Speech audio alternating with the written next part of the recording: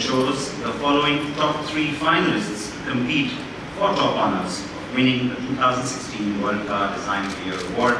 And they are the Jaguar XE, the Mazda CX-3, and of course the Mazda MX-5. All the nominees, of course, right there in the room with us.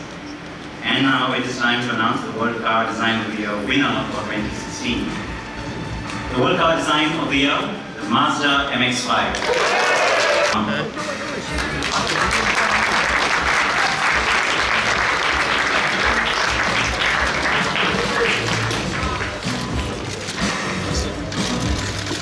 And I'd just like to invite Maeda-san, uh, Global Head of Design. He came down way to Hiroshima to get here. So please come up, Maeda-san, also Chief Designer